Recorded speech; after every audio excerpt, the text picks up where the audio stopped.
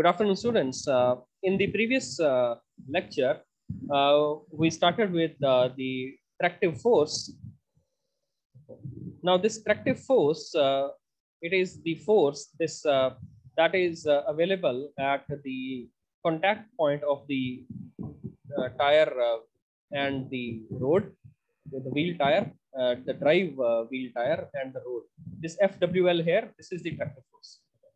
So now uh, in uh, the subsequent slides, we will be deriving a formula to correlate this uh, tractive force to the uh, torque that is developed by the engine, TE. Now, the first step is uh, from the uh, diagram, uh, this, this diagram here, okay.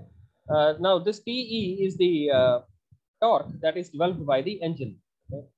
Now, if uh, we consider there is no slip uh, in the clutch plates, okay, so this means the torque developed by the engine or the engine torque will be equal to the clutch or the uh, torque converted torque or TC.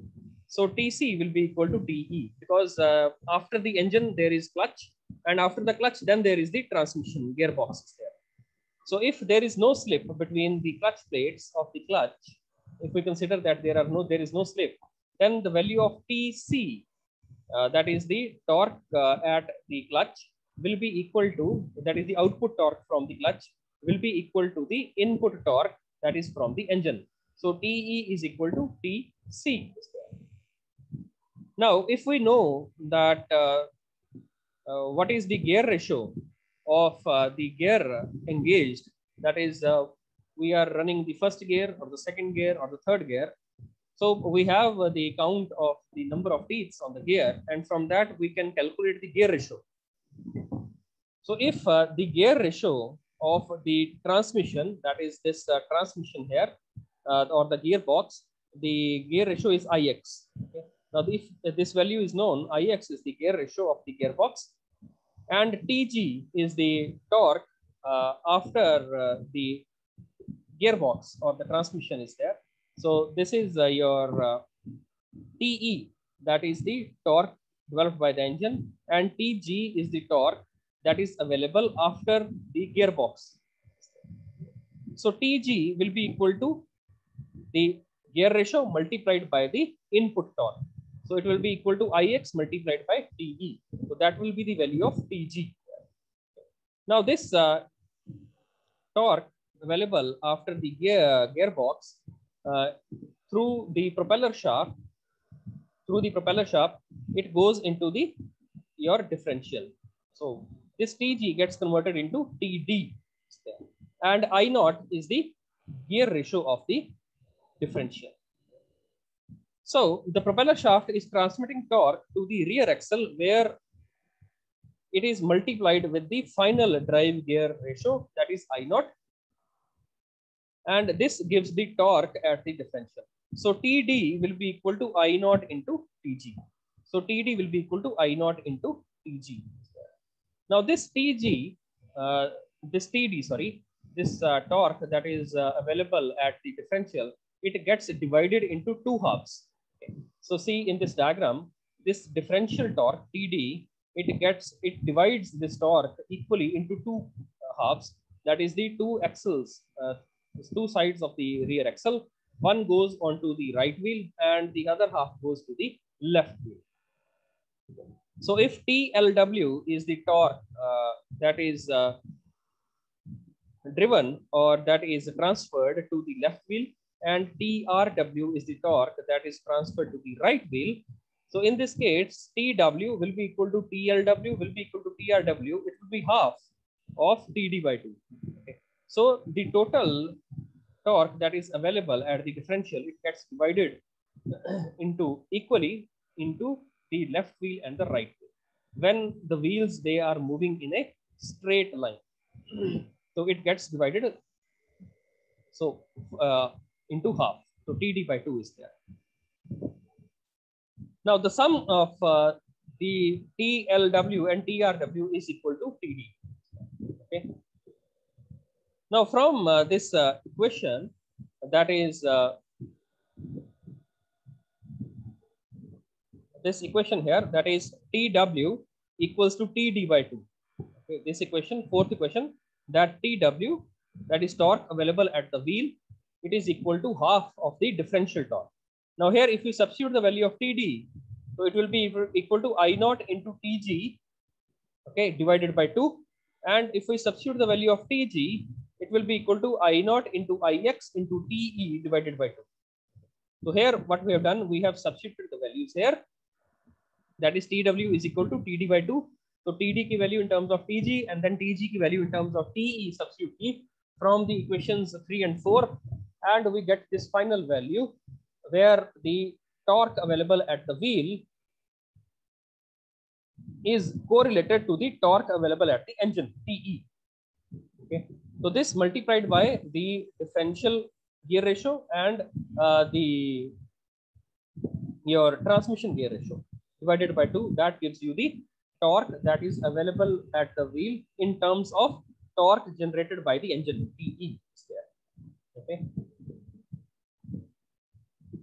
now the formula of the wheel torque that is 6 uh, applies to the vehicle which is driving on a straight line where the left wheel torque is equal to the right wheel torque now if uh, this is only applicable if the uh, your vehicle is running uh, in a straight line. Okay. In that case, PLW is equal to PRW equals to TW. Now, from the mechanics, where the torque uh, is equal to force multiplied by the perpendicular distance. Now, in this diagram here, FWL is the traction force, TWL is the torque available, okay, and RW is the radius of the wheel. So this torque will be equal to force multiplied by the radius, perpendicular radius. So that is there TLW will be equal to FLW into RW. And similarly onto the right wheel, TRW will be equal to FRW into RW. Now this uh, here, we know that TLW equals to TRW is equal to TW. So in general, we can write that TW, it is equal to FW into RW where Fw is the wheel force or the tractive force and Rw is the radius of the wheel. Now from this equation, we can write the Fw equals to Tw upon Rw. And from this uh, equation number six, we substitute the value of Tw here. So we will get the value of Fw equals to I naught into Ix into Te divided by 2 Rw. So this is the final formula that we were interested in, in which the tractive force is correlated to the torque that is developed by the engine at the crankshaft and the radius of the wheel. So if uh, we can say here, if the engine torque increases, the tractive force also increases. But if the radius of the wheel increases, the tractive force, it decreases. So there is a direct and reverse relationship between the two. Okay, after the attractive force, uh, the next topic will be uh, on what are the various resistive forces that uh, apply on a vehicle when the vehicle is uh, in motion.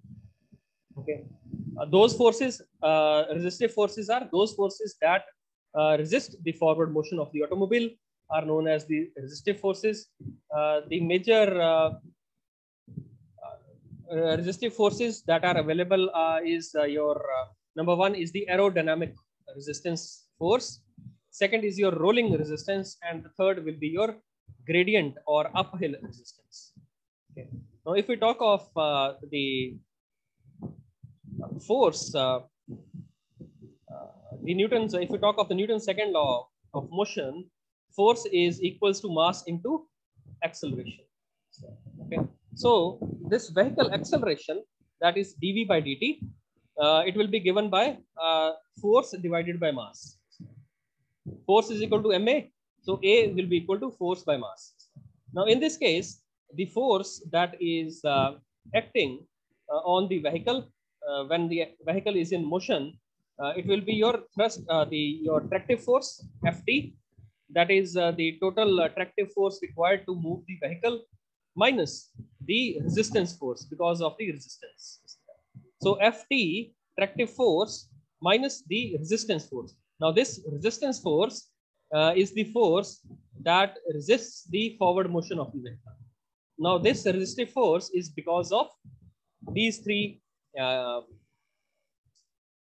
reasons. One is your aerodynamic resistance, second is your rolling uh, resistance, and the third one is your the gradient resistance. Is there? Okay. Now here uh, dv by dt is your acceleration equals to change in force, attractive force minus the resistance force divided by delta. Delta is the mass factor into m. m is the mass, total mass of the vector. Now here mass factor uh, may vary if uh, on the diagram on the right hand side you can see uh, that uh, the uh, delta here is different if the car is in uh, say on the level road mass will be given by the weight of the car will be given by mg but if it is on a tilt at an angle then the value of mass, it is different. So that becomes mg sine theta alpha. So the value of uh, delta, it accommodates this if the car is on a level road or it is on a tilted road. That is why it is the mass factor with which it has to be multiplied depending upon its uh, inclination. So this is uh, general. So first uh, resistive force, if we study, it will be your aerodynamic resistance. Now aerodynamic resistance is uh, the resistance that is caused by the fluid that is flowing around the vehicle. Normally, uh, if we talk of any automobile, so automobiles run on land. So air is the uh, fluid that flows around the automobile. Okay. So the main uh, compositions of this atomic aer aerodynamic resistance are first is the turbulent airflow around the vehicle body. Okay. So now here in this diagram, you can see there are uh, these uh, lines on top. Uh, these are uh, straight uh, boundary lines that are uh, there. And then you have these pockets okay, at the front that is one that is just in front of the car and the other is where the bonnet and uh, the windshield they meet. This is the region. So where when the car is moving in the forward direction okay uh, the impact of the air is um, maximum on these two parts. Okay. so that is why these are high pressure points. Okay. And the air circulation or the air turbulence that is caused in these two areas is causes high pressure and this pushes the car in the backward direction and this acts in the opposite direction to the motion of the vehicle okay so these are your high pressure points and then at the rear of the car what happens is when the uh, boundary layer it uh, separates from the body of the vehicle it causes uh, some circulating currents at the back these circulating currents are called wakes. Now these circulating currents, what they cause is they cause vacuum pockets. So there are two regions here that cause vacuum pockets. So that is why these are low pressure uh, regions. Okay, because vacuum is being created here. Now this vacuum, what it, it does is it uh, pushes, it pulls the car in the backward direction. So if there is vacuum here, so it will pull the car in the backward direction. So this again, the force is acting in the opposite direction of the motion of the vehicle. So these high pressure points at the front, because of the direct impact of uh, the incoming air onto the uh, frontal area, and then the low pressure region at the back because of the circulating currents, because of the separation of the boundary layer uh, of the uh, uh, medium. In this case it is air. It takes place. So this uh, these four points are the major cause of aerodynamic resistance so that is why the first point is these regions of turbulent airflow around the vehicle body they comprise of 85% of the aerodynamic resistance total aerodynamic resistance okay Second type of uh, aerodynamic resistance is caused by the friction between the air and the vehicle body. Air molecules, air particles or vehicle body के बीच में जो friction है, that accounts for around 12% of the total aerodynamic resistance. Then the third uh, is because of the vehicle component resistance that is there from the radiators and air vents. So such resistance, uh, it uh, it has three percent. Uh, it um, corresponds to three percent of the aerodynamic total aerodynamic resistance. Okay. So the formula for uh, aerodynamic resistance uh, is given by Ra is where it is your uh, aerodynamic resistance Ra. It is equal to rho upon 2 half rho. Rho is your density of air. CD is the coefficient of uh, drag. Okay. And AF is the uh, circumferential or the area of the body of the vehicle or the outer surface area multiplied by V square. V is the velocity uh, with which the vehicle is moving. So this is the formula to calculate the total resistance uh, in aerodynamics. Okay. So R is equal to rho by 2 CD AF into V square. Okay. Now power required to overcome this resistance. Power is given by work upon time. Work can be subdivided into force into distance. Okay. So this means force into distance upon time becomes velocity. Distance upon time becomes velocity. Force will be your this aerodynamic resistance force. So this is your RA into V. So power required to overcome this uh, resistive force. Uh, so PRA will be equal to, if we substitute here the value of RA from top, so it will be equal to rho upon CD into AF into V square into V becomes VQ. So this is this final equation gives us the total power required to overcome the aerodynamic resistance RA of the vehicle if it is moving in air. Now here in this formula, uh, velocity is the velocity with which the vehicle is moving forward. That can be known. Area of the vehicle can be known. Okay. Density of air is known. 2 is a constant. The only thing left is CD. What should be the value of CD? That is the coefficient of drag. So drag is the, uh, it is the uh, backward resistive force with which uh, the any uh, vehicle it is pulled backwards. So that is drag. Drag is nothing but resistance to motion. So coefficient of drag. So there are uh, there, we have standard values of uh, coefficient of drag. So those values we can use. You can get the tables uh, from uh, uh, various online sources. Here I have got a uh, one of the tables here. So you can see that the various body shapes of the cars are there. So if we have an open convertible, so aerodynamic coefficient of aerodynamic resistance that is CD value is given.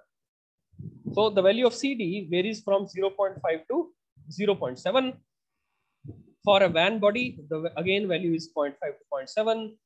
For a ponton body like this one here, which has sharp edges, will have 0.4 to 0.55. Uh, then is your wedge shaped body with headlamps and bumpers are integrated into the body. Okay, so where value reduces to 0.3 to 0.4.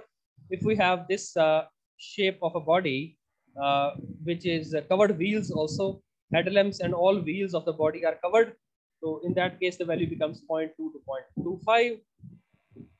So if it is K-shaped, it is 0.23. If it is optimum streamlined design, the value is 0.15 to 0.2. So the value of CD for trucks and road trains is 0.8 to 1.5. For buses, it is 0.6 to 0.7. For streamlined buses, 0.3 to 0.4 and motorcycles 0.6 to 0.7. So these are the standard values of uh, coefficient of drag CD. So from these tables, we can directly put in the value of CD depending upon what type of body of the car or bus or vehicle or, or your uh, motorcycle is. So you can put the value of CD and you calculate and you will get the power required uh, to overcome this aerodynamic drag force. Now, next type of uh, resistive force is your rolling resistance. Now, rolling resistance, uh, this is an example of a, uh, say there is this uh, road here and on top there is a, a circular wheel. So this wheel is moving in forward direction. now, when the wheel moves in the forward, forward direction, this is a solid wheel here.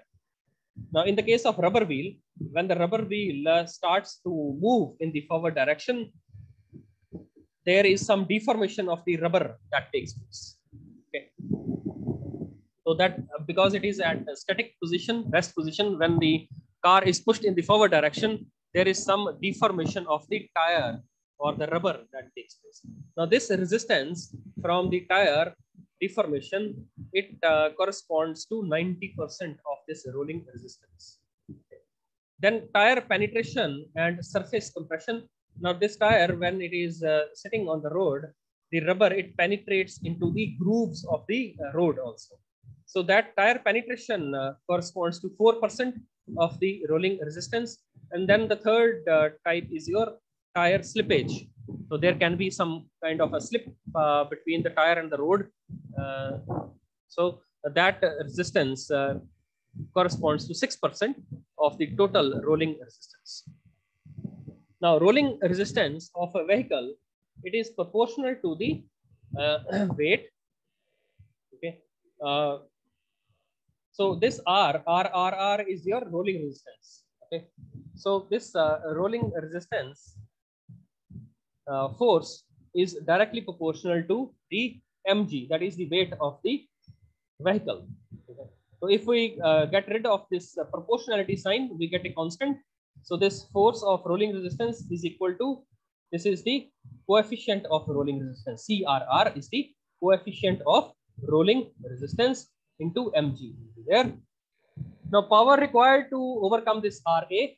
Again, we'll use power is equal to work upon time, force into distance upon time, or it will be force of rolling resistance into velocity. Distance upon time is velocity. If we substitute the value of RRR from top, the equation becomes coefficient of rolling resistance into M into V into G. Okay. So G is uh, uh, 9.81 and divided by 3600, it becomes watts.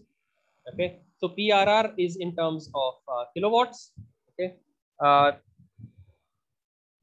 so this becomes equals to 2 points. If, it, if you uh, calculate this, uh, evaluate this 9.81 divided by 3600, it becomes 2.72 into 10 raised to the power minus 3 into CRR into M into V. This uh, value is in terms of kilowatts. Now, rolling resistance, uh, the coefficient of rolling resistance, uh, it is a function of tire material, tire structure, the temperature of the tire, the pressure or the inflation pressure inside the tire, okay, uh, the tread geometry, road roughness, the road material, and the presence uh, or absence of liquids on the road. So, अगर liquid ज़्यादा होगा तो uh, on the road, if the liquid is there, so friction will be less. If uh, there is no liquid, friction will be more. So this CRR, it depends upon all these parameters. Again, there are some uh, standard values of uh, coefficient of uh, rolling resistance that can be seen in this table. Now, if the car tire on a smooth tarmac road is there, then the value of CRR is 0.01. Car tire on concrete road is 0.011. Car tire on rolled gravel road is 0.02. On tar macadam road, it is 0.025. Unpaved road is 0.05 bad earth tracks 0.16, loose sand 0.15 to 0.3, truck tire on concrete or asphalt road. Truck tires, they have a CRR value of 0.006 to 0.01. Wheel on iron rail for uh, trains, the value of CRR is 0.0012 to 0.002. So these are the standard values of CRR uh, we can take the standard value and put this in this equation and you will get the total power required to overcome the rolling resistance RR.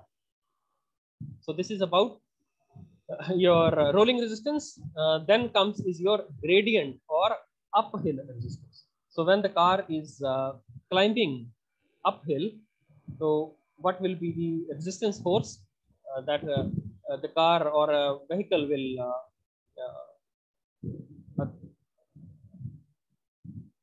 uh, feel? Okay. Now this gradient or uphill resistance, it is composed of the gravitational force acting on the vehicle and the component parallel uh, to the roadway. So there is a resistance component that is uh, parallel to the roadway that is Rg in this case. So one is your gravitational force.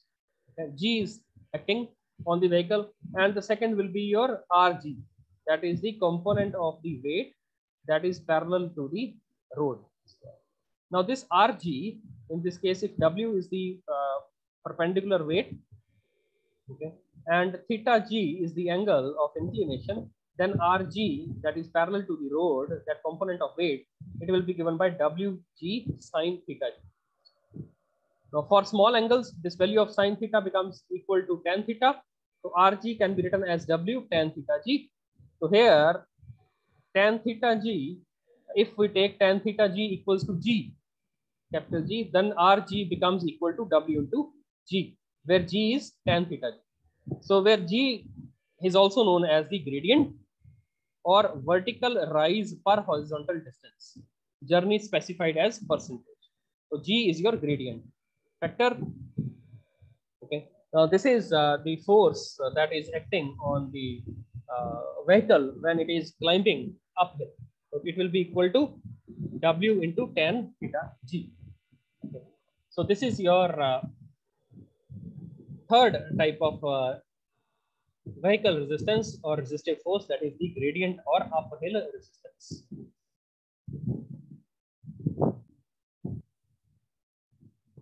Okay, after the various resistive forces on the vehicle, uh, we can uh, go on to the next uh, is uh, the power losses in automobiles. Now, in this uh, section, you can see that uh, this is the layout of the automobile. Okay. Now, in this case, the 100% energy is being developed by the engine. Okay. So, from the engine uh, to the crankshaft, okay, uh, there will be some losses. Those losses correspond to 62% of losses. So from the, uh, you can see that uh, from the combustion chamber, where uh, the total power is being produced and that 62% uh, of that power gets wasted and the remaining 38% uh, only reaches the crankshaft. So this means that lot of uh, energy gets lost between in between the engine only from the combustion chamber to the crankshaft 62% of the energy gets lost okay this is because of engine friction engine pumping losses and the heat loss to the environment another 17% of that energy is lost to idling. Okay, so when uh, the uh, uh, engine is running on say idle, okay, the, we are not running the vehicle. The engine is running uh, uh, is on, but we are on the neutral. So idling or uh, another 2% loss is to the accessories operation. So various accessories that are there in the automobile, okay, so they consume like your lights, uh, your uh, uh, your electrical accessories like your power windows are there. Okay.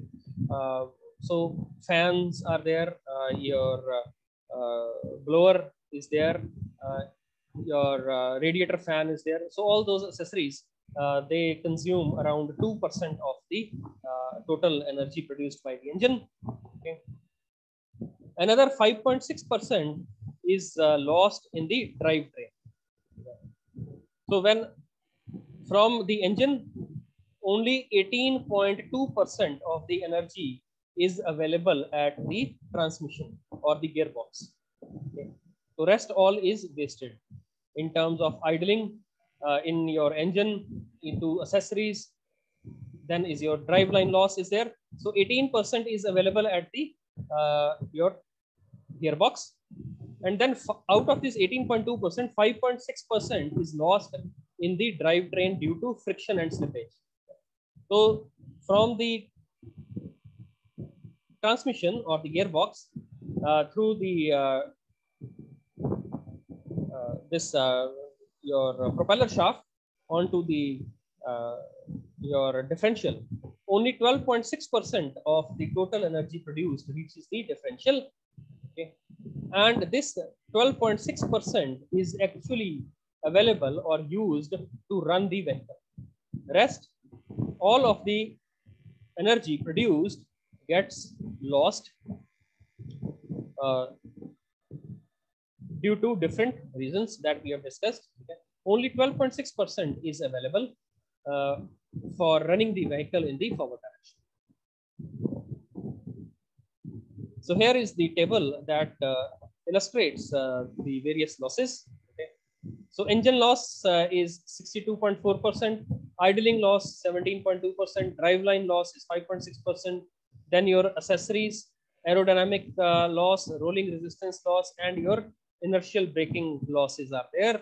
So this 15% of the power is available at the drive wheels. Okay. So if we if we uh, say we take out this 2.2% also, okay. So that comes out to be around 12.8%. So that is only available uh, to run the vehicle in the forward direction. Okay. So a lot of uh, losses are there in the automobile from the power that is being generated at the engine and the power actually available at the wheels.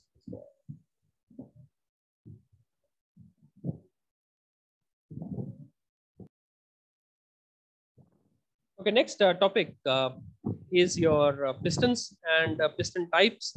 Uh, in this, uh, we will be studying about what is a piston, what are the various parts of a piston, and what are the various salient features that are desired from a piston and then uh, we will study about what are the various types of pistons that are available. Okay. Uh, so if we want to define a piston, a, a disc or a cylindrical part that is tightly uh, fitted and moving within a cylinder, either to compress or transform energy imparted by a fluid expanding inside the cylinder as explosive gases into a rectilinear motion rectilinear means it is a linear motion, usually transformed into rotary motion at the crankshaft by means of connecting rod. So this is the definition of a piston. So piston kya hai? It is a cylindrical part and it tightly fits inside a uh, cylinder. Okay.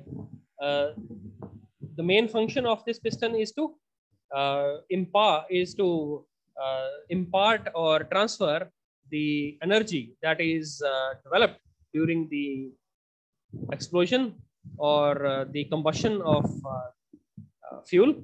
Okay. and uh, it has to transfer this energy to the connecting for a crankshaft. The linear motion of the piston gets converted into rotary motion of the crankshaft with the help of a connecting rod in between. So this is your piston and if you see the diagram here uh, at the bottom so there are three types of rings that are there. There is top ring. The second ring is your wiper ring and then is your oil ring uh, for a four stroke engine. The top uh, is known as the crown of the piston or it is also known as the piston head.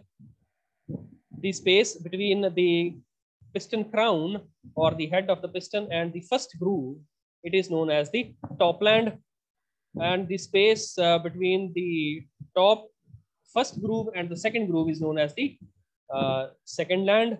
And the space between uh, the uh, second groove for the wiper ring and the oil ring that space is known as the third land. So first second and third land is there.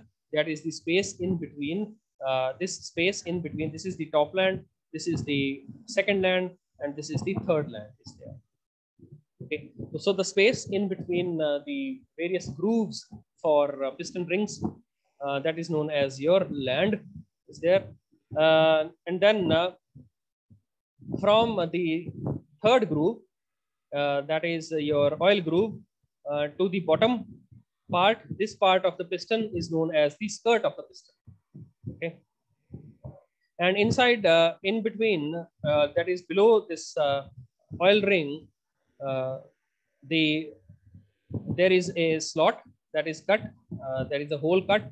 Uh, this hole is for this your piston pin or the gudgeon pin is there. On this gudgeon pin, the small end of the connecting rod is connected. Okay, and when this gudgeon pin is uh, fitted inside this connecting rod in the piston, uh, this is locked with the help of snap rings on both sides. Okay, so that is there. Uh, there are some slots also cut on the circumference of this skirt. these are known as the slots on the skirt are there. So this is your piston. Now, various uh, piston parts.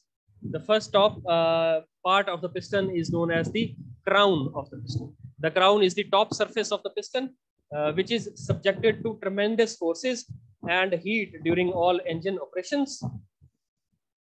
Then uh, the parts that are in between these grooves, these protruding parts, they are known as the ring lands. Okay, then we have the top land, uh, the second land, and the third land is there. Then ring grooves are there. These grooves are placed uh, or cut inside the piston uh, for placing the various piston rings. That is your compression ring, the wiper ring, and the oil ring. Okay. Now in this uh, oil groove, if you can see this diagram here, there are these holes here. One, two, three, four, five, six. These small holes are there. Now these holes are provided. These are known as the return oil return holes. So the oil that is collected or wiped by the oil ring and the wiper ring it gets collected in this uh, uh, the oil ring grooves uh, and then from these holes it is pushed backwards inside the piston and from there it drips down into the oil sump. Then comes is your skirt. This this this uh, bottom part after the oil groove this bottom part of the piston is known as the piston skirt. The skirt of the piston is the portion which is closest to the crankshaft that helps align the piston as it moves in the cylindrical bore. then wrist pin boss. This is your wrist pin uh, boss. It is the bore uh, that connects the small end of the connecting rod and the piston by a wrist pin. So this is your wrist pin boss in which the uh, your gudgeon pin or the piston pin uh, gets inserted and the small end of the connecting rod is connected at this point.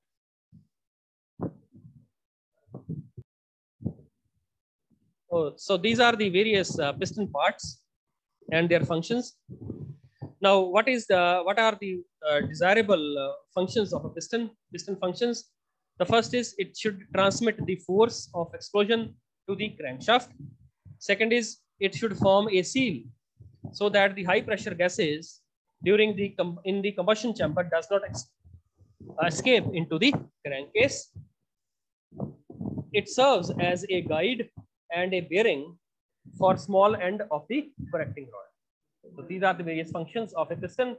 Then the piston skirt has the following functions. First is its function is to form a guide suitable for absorbing the side thrust produced on account of inclination of the connecting rod. Now, when the connecting rod is uh, inclined at an angle, when it is moving up or down, so what it does is it presses the piston on one side. Okay. So the piston skirt, it acts as a guide okay, uh, that uh, absorbs the side thrust that is produced uh, because of the uh, inclination of the connecting rod. Okay. So this, this point will be clear from this diagram here. Uh, now, you can see this diagram. Now, what is happening here is uh, there are two strokes that are taking place on the left hand side that is the red uh, you can see the power stroke is taking place. During the power stroke, the combustion has taken place inside the combustion chamber and this pressure is pushing the piston in the downward direction. And the inclination uh, of uh, this connecting rod is onto the right hand side. Now the pressure here is very high. Now when it is pushed downwards, there is some resistance that is uh, given by the connecting rod. Now this uh, resistance by the crankshaft that is given, it pushes the piston onto more onto the left side. So there is this uh, major thrust area that is there. So this uh, piston gets pressed firmly onto this side, left hand side during the power stroke. So this is your major thrust uh, side of the piston. Now on the other hand side, if you look on to the other diagram, that is the yellow, that is the compression stroke is taking place. During the compression stroke, the piston is moving from the bottom dead center towards the top dead center. Now the again the resistance causes this piston to press towards the right hand side of the cylinder. So piston gets pressed towards the right hand side. Now this force is less. So that is why this is known as the minor thrust load side. So these two thrust sides, major thrust side and the minor thrust side, they fall or they are located radially opposite to each other. Okay. So major thrust side is because of the power stroke and minor thrust side is because of the compression stroke. Okay. Because in both these uh, uh, strokes, the angle of inclination is there between uh, the connecting rod and the piston, and that presses the piston onto one side of the cylinder. Okay. Now, the function of the skirt here is to smoothly transmit this thrust, okay, so that no damage takes place to the piston. Okay, so it forms, this skirt forms a guide. Second is it must be sufficient length to resist tilting of the piston. So if uh, it should be, so the skirt should be designed in such a way that the length is sufficiently long enough, okay, so that it resists the it resists the piston tilt. So the piston does not tilt. Okay. So if uh, at certain point, if the tilt is much, so what it, it will happen, it will uh, uh, it will stuck there. It will not move up and down. Third is the combustion pressure from the piston crown is transmitted to the connecting rod through the webs inside the piston. Okay. So inside the piston, there are various webs that are formed inside the skirt. Okay. So the pressure, it gets transmitted through those webs to the connecting rod. Those webs are present inside the skirt of the piston. The webs also form heat path. Now these webs, they also form uh, the heat that is produced during combustion on the piston. Now that heat is absorbed by the webs that are present inside the piston. And uh, through the uh, gudgeon pin process, uh, this uh, heat is transmitted to the lubricating oil and that heat is taken away by the lubricating oil. So these are the various functions of the piston skirt. Next is your what are the desirable characteristics of a good piston. The first is it should be silent in operation. Second is the design should be such so that the seizure does not take place. Seizure is where the engine seizes. Okay, so heat dissipation uh, through the piston should be fast.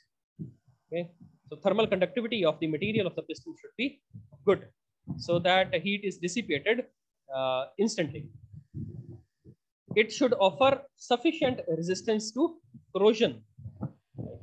So uh, it should be good corrosion resistant material. It should have the shortest possible length. Uh, next is it should be lighter in weight. Then uh, it should have a good thermal conductivity so that it can transfer the heat uh, easily and quickly so that it can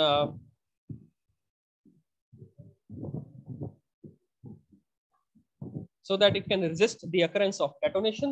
Okay. So if uh, the thermal conductivity is not uh, good, so the edges of the piston, they will start to glow because heat is not dissipating fast. Now those glow, glow edges, they are the cause of uh, the knocking or detonation that might take place. Third is it should have long life. So these are the desirable characteristics from a piston. Next topic is uh, the various uh, materials uh, uh, of the piston. The first is your, uh, the pistons are made up of cast iron. The properties of the cast iron pistons are high strength, good wearing characteristics. they have low thermal expansion. They are heavier than the aluminum pistons and they have low thermal conductivity as compared to the aluminum pistons. Second type of pistons are aluminum uh, pistons, uh, uh, aluminum alloy pistons that are uh, produced by the process of casting. So that is why it is aluminum cast pistons are there. In this, uh, the composition is, uh, besides the major part is aluminum, the other constituents are silicon is 9 to 12%, nickel is 1%, copper is 1%, and magnesium is 1%. These pistons are lighter in weight they are economical, they are for general use, and but they are brittle in nature. Third type of uh, is your material is the hyper eutectic pistons. Uh, they have uh, again these are made up of aluminium. Aluminium is uh, the major component. Again, casting is done, but in this case, uh, the percentage composition of silicon is great. Uh, it has 18 to 24 percent of silicon. Nickel is one percent copper 1% and magnesium is 1%. They are cast aluminium. Uh, they have high silicon content. 25% they are lighter in weight than normal cast piston alloy, uh, aluminium pistons. They have high performance, less brittle in nature. They have more scuffling resistance. Now, scuffling resistance is your uh, uh scuffling is uh, of a material is associated with uh, adhesive wear, uh, where one uh, metal, when it rubs over the other metal, so due to that rubbing, the adhesion takes place between the two materials. Okay. So if the materials are uh, they are rough and they don't have uh, good, uh, say, they, don't have less friction so then adhesive uh, adhesiveness is great and scuffling takes place. Okay. So if uh, because of the presence of silicon, greater amount of silicon in this uh, uh casting, so this silicon provides uh, good friction resistance. Okay. So that is why these type of pistons they are more scuffle, scuffling resistant. Okay. But these pistons they are expensive than cast pistons. Then comes another type of uh, aluminium piston is where they are forged. Okay. Now these, uh, again, the composition is the same as of aluminium cast piston. Silicon is 9 to 12%, nickel is 1%, copper is 1%, magnesium is 1%.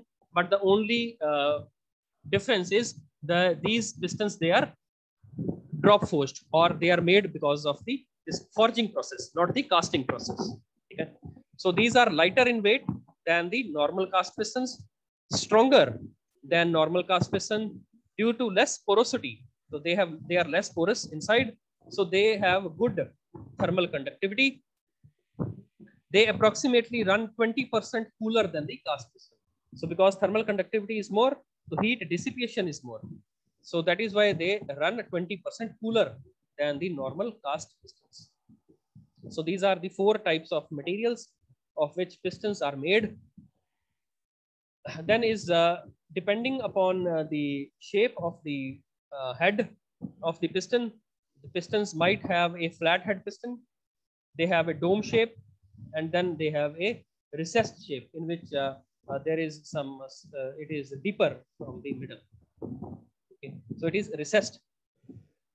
So generally low cost, low performance engines they have flat head. These flat head uh, pistons are associated with low cost, low performance engines. Now, pistons used uh, in some high power uh, engines may have raised dome. That is the second type, which increases the compression ratio. So this shape is made to increase the compression ratio, as well as you can control the uh, combustion using these type of pistons. Third is your uh, recessed head in some engines, pistons may be specially dished uh, to form the desired shape of the combustion chamber. So these are specially designed pistons, that is the recessed head pistons are there. This uh, we have covered the uh, major thrust and minor thrust is here. Next is what is piston slap. Okay, the piston slap is uh, so when uh, the connecting rod is tilted or when the piston is moving up and down, uh, and there is uh, clearance, uh, excessive clearance between the piston and the cylinder because of wear. So what happens is when the, uh, see here when the piston is moving in the downward direction, so it is rotating in clockwise direction. It is moving in the downward direction. Uh, the left top corner of the piston, it touches the left side of the wall and bottom uh, right corner of the piston, that is the skirt part, it touches the right side of the piston. So when the piston uh, is at the top dead center and it suddenly moves downwards, okay, so that uh, the bottom skirt of uh, this piston, it uh, hits uh, the piston uh, cylinder and a sound of uh, like a slap this comes if there is excessive clearance between the piston and the cylinder. So this slapping, it causes the material to wear from the cylinder lining and from the skirt part of the piston also. So here on the diagrams on the right hand side, you can see that there is a wear that has taken place on the skirt of the piston. And then uh, the cylinder uh, inside, uh, again, there is this wear that has taken place.